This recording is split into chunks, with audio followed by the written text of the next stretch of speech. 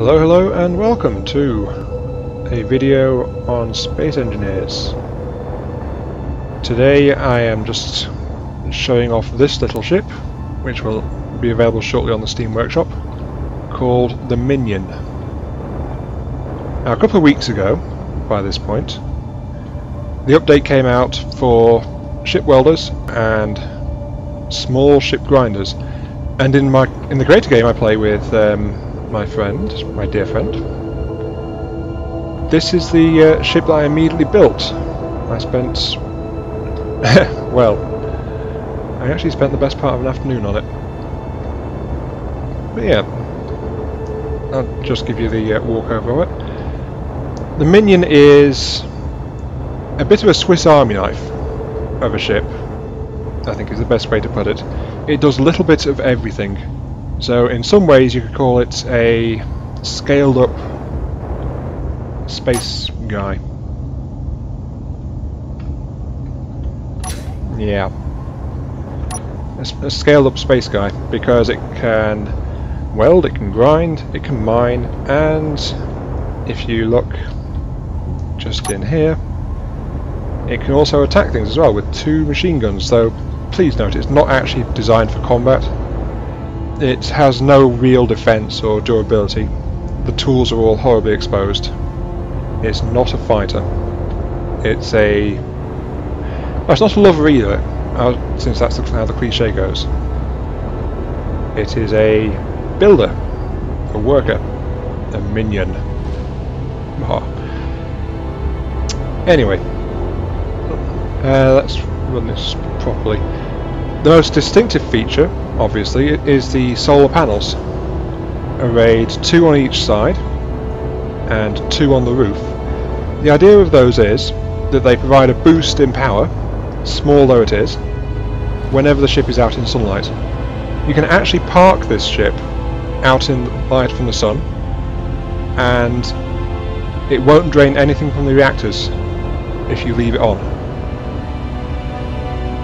which is really why it's there. It's a parking feature, and also to make the ship easier for resupply and refueling, because it just doesn't use as much when it's just parked or when it's using one of its tool sets.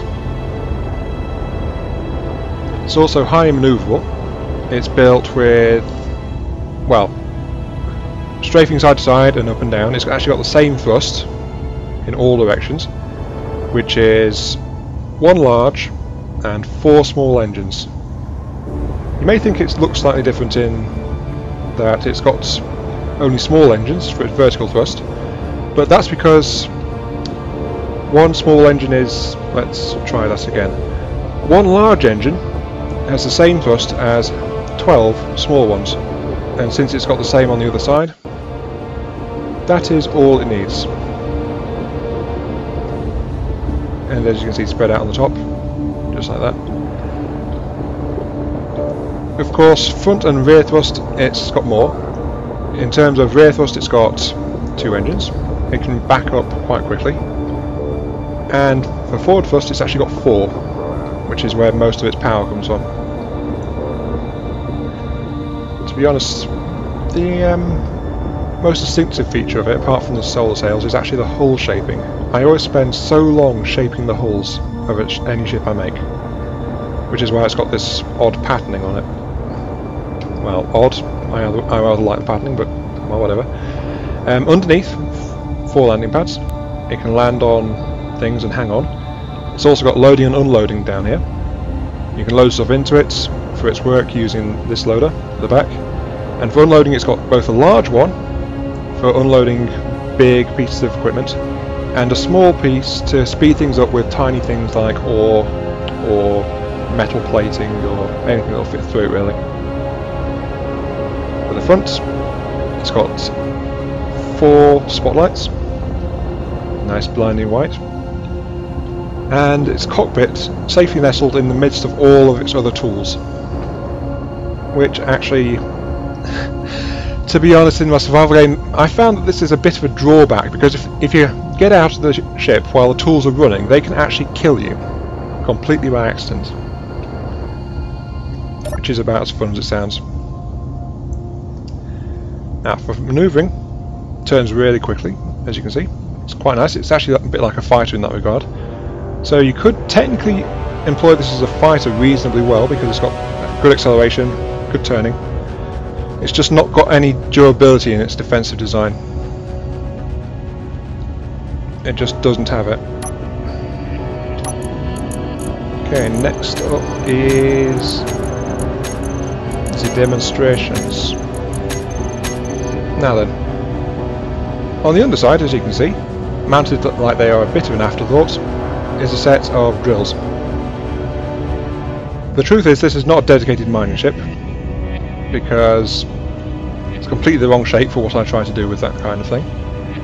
It's more designed for scraping the surface of an asteroid, picking up some raw materials, or shaping a trench for installing a station or other items into. And it's even got a it's got a ore detector somewhere. There it is. So it can actually function as an impromptu mining ship if it has to. Though for the most part you're probably only going to get stone with it. See just just dig along quite nicely underneath. You can see what I mean about trenching because it does channel wide enough for the ship to fit into. But it can't really dig down because of the other tools that get in the way of the um, drills as it works. So yeah, it's really just intended to scrape along and dig a little hole for itself more than anything else. Which is cute and sometimes useful, but it's not really a serious miner. That's the mining done. Okay, next. We've lost myself. Here we go. Next is, I think, grinding for which I have built this little demonstration piece here. As a grinder, this thing is actually pretty good. It's its most powerful feature. It can tear things apart fairly well with its small grinders. Which, uh, like anything else, stuck in this upset. So I can just turn them all on at once and move my ship. Yes, look at that speed so much faster than um, if you're doing it by hand. Truthfully, I tested the grinding on this with um, Nathan by tearing apart a commercial shipment. This vessel had enough space inside it to hold the entire craft. Though admittedly some of it was backing up into the um, into the grinders themselves by the end of it. But safely hidden within it, it's got, well, as you can see, three large cargo containers. There's a connector there, which picked up all that stone I mined, which is useful. Yep, that's its grinding function, is rather nice. Perhaps I should have shown you from this view, but um, as you can see it's a bit restricted with all the tools sticking out in front. And lastly there is this here, which again I just built for demonstration purposes. This is effectively a small outpost station. It's got refineries, it's got storage, and it can load and unload from a craft of this design quite easily from the placement of the collectors and connectors in the top. But for now, it's just going to be demonstrating the welding, which I've now turned on. Just need to move closer, and there we go, welding. Works very well. Though admittedly with only two welders compared to three grinders, it's faster at tearing things apart than it is at building stuff. And the spacing of the two because of the cockpit in the middle is actually a, a bit awkward I've found as well. Just turn those off now, since I only just damaged those two solar panels. Something else to note about this design is the rear thrust and the upward thrust are actually designed so that um, if you've got thrust damage on, it won't harm things that your ship is either working on with its tools, or if it's trying to land on something, like I am about to try and do now, once I get pointed the right way. Come on, down you go. That's a good ship. Very easy, easy to line up. And there we go. Nice and safely parked. Ah, that's lovely, isn't it? And now I can just unload that, but fool that I am, I didn't put a reactor into the um, this little station, which is um, why it just started acting up like that. I'll just tack a small reactor onto it so the refineries can work. Yeah, you can you can hear them, hear them struggling like that. Ah, silly me, silly me. Silly, silly me. Where, where would be nice? I think actually there would be. There we go, and there go the, the uh, refineries. Just put one there as well for symmetry.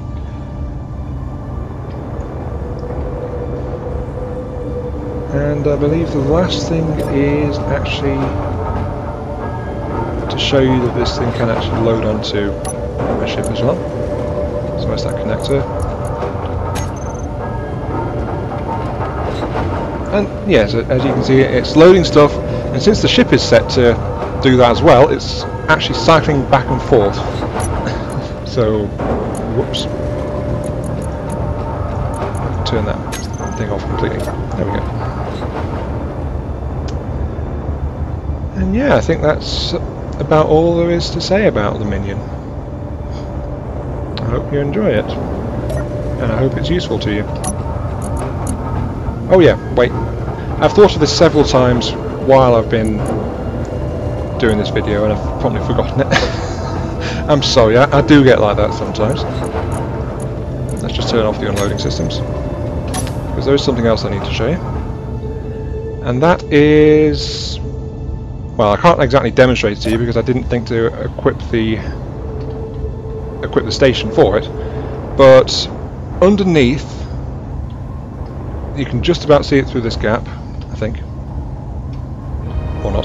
But yeah, anyway, underneath, right here between the landing pads, this ship actually has an artificial mass.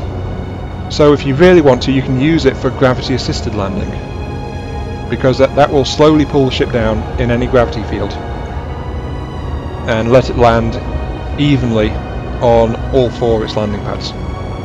So it's just a nice little feature there for anyone who might actually find a use for that kind of thing. But yeah, that's the Minion. Thank you for watching and I'll see you around.